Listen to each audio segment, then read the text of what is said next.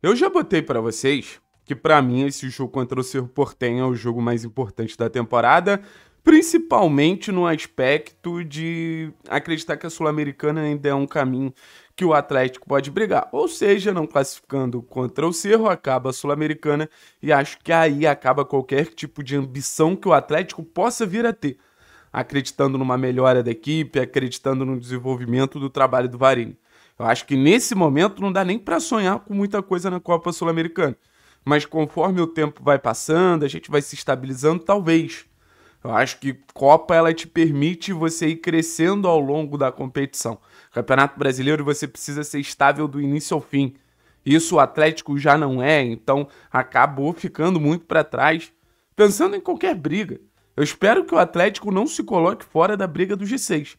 G7, G8, enfim, porque é uma briga ali que pode nos mandar para uma pré-Libertadores que vai ser muito importante na temporada que vem. Mas pensando em título, pensando numa temporada tão importante quanto o Centenário com algo maior, eu acho que é só a Copa Sul-Americana. Então, o jogo contra o Cerro Portenho, volto a cravar. Para mim, o jogo mais importante da temporada. O jogo contra o Cerro Portenho, para mim, o jogo que, que tem o maior peso na temporada para tentar validar de alguma maneira o discurso que foi feito tanto pelos atletas quanto pela diretoria, que é um discurso de a gente vai tentar conquistar coisas grandes no ano, beleza? Beleza. E para passar do Cerro Portenho? E para ganhar um jogo, um time que vem ganhando pouquíssimo? É impressionante como o Atlético entrou numa espiral que tem uma dificuldade enorme de ganhar jogos. E ganhar jogo no futebol é simples, é marcar mais gols que o seu adversário. E nessa matemática que parece simples, o Atlético tem uma defesa que entrega muitos gols, uma defesa frágil, que se em algum momento na temporada foi um ponto positivo, hoje já não é mais. E o Atlético tem um ataque com muita dificuldade de fazer gol.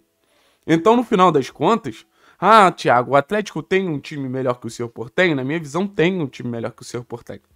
Mas o Atlético, ele tem uma dificuldade muito grande em ganhar jogos, em fazer mais gols que o seu adversário. Ah, pode controlar um jogo aqui, pode pressionar um jogo ali, mas no final das contas, pro Atlético fazer o gol é, é muito difícil, cara. É um parto. Cara, assim, que, que nas próximas temporadas a gente consiga resolver essa questão, pô, com o Vitor Roque, com o Mastriani, sei lá, com alguém. Mas que, que o Atlético tem um pouquinho mais de eficiência, porque o jogo contra o Bragantino, eu acho que foi o jogo que mais externalizou algo que já estava muito claro. Foi o jogo que mais, assim, botou letras de neon num problema muito claro do Atlético, que é esse problema ofensivo. Muito, muito, muito sério. O Atlético poderia ter matado tantos jogos na temporada que não matou, e isso acarretou numa série de perdas de pontos, tanto na Sul-Americana, que está fazendo a gente jogar esse, esse maldito playoff, quanto no Campeonato Brasileiro, que a gente poderia estar numa situação muito mais confortável. E a defesa também não garante nada, então, enfim, é muito difícil, cara. É muito difícil, muito, muito, muito, muito muito difícil. Aí a gente parte para o cenário. Dentro dessas dificuldades, dentro dessas impossibilidades do Atlético, o que, que a gente pode alcançar? Cara, a gente pode alcançar a classificação na Copa Sul-Americana, isso é fato. Se eu for para um jogo contra o Cerro Portenho, com o elenco que o Cerro Portenho tem, acreditando que o Atlético não pode se classificar, aí, pô, fecha o clube de uma vez. Mas, cara, eu iria para esse jogo com jogadores que têm um mínimo de personalidade. É jogo para quem tem o mínimo de personalidade. Não é jogo para tentar escalar o time mais bonitinho. É jogo para, cara, quem, quem vai aguentar um rojão de um estádio pressionando, quem vai aguentar um rojão de um time que precisa se classificar, de quem vai aguentar o rojão de um jogo decisivo. E quem são esses caras de mais personalidade hoje? Canobi.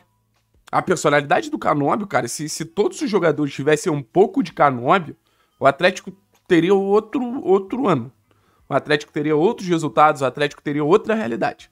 Isso aí eu falo com toda a tranquilidade do mundo.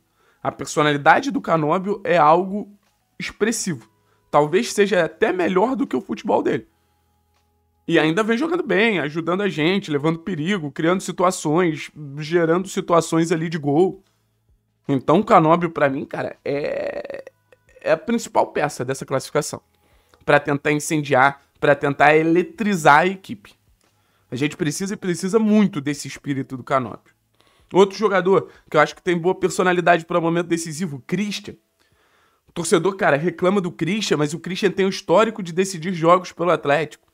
Inclusive, no nosso último título relevante, o Christian decide o cenário mais improvável de classificação do Atlético.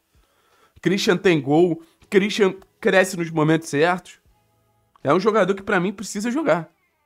Para mim, rapa o Eric, bota Fernandinho e Christian. Jogadores ali com mais capacidade de construção, mais capacidade de inventar algum cenário. Aí outros jogadores que eu gosto muito da personalidade. O Julimar. Cara, ah, mas eu. Irmão, o que o Julimar vinha fazendo, seja pela esquerda, seja pela direita, bota o Julimar pela direita. Que é pegar a bola, agredir. Pegar a bola, agredir. Pegar a bola, agredir. Tentar, tentar, tentar. O jogo do Julimar é muito, muito nesse sentido. De pegar a bola, cara, ir pra cima não querer nem saber. Mirar o gol. Fisicamente muito capaz. Vai derrubando todo mundo. Então, assim, o Julimar é um jogador que, que ele entendeu que o jogo dele é esse. É pegar a bola e tentar. Errou, pegou a bola, tentou novamente. Porque a gente vai errar contra o Cirro. O grande ponto é o que os erros vão gerar? Vão gerar vaia, vão gerar insegurança. O quem tiver em campo, quem tiver nos representando, precisa matar no peito qualquer tipo de, de, de receiozinho, de medinho nesse cenário. E acho que o Julimar é um desses caras. Acho que o Diório é um cara de uma personalidade muito forte. Vou ser bem sincero com vocês, em questão de personalidade, Talvez acho que o Diório tem até mais do que o Maestreani. Acho que questão de personalidade, o Diório é, é, é o nosso melhor centroavante. Um cara forte fisicamente, consegue se impor contra uma zaga alta, forte do Cerro, sabe? Um cara que consegue criar cenários ali de disputa o tempo inteiro. Um cara que incomoda, um cara que gera perigo, vem, vem jogando bem, vem se movimentando bem. Então é esse tipo de perfil que o Atlético precisa.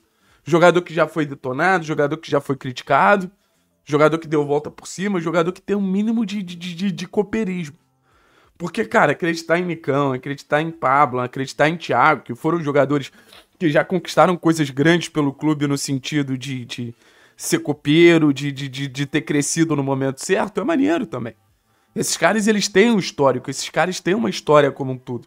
Mas eu acho que a gente precisa também dessa, desse, desse retorno técnico que esses caras não estão dando hoje.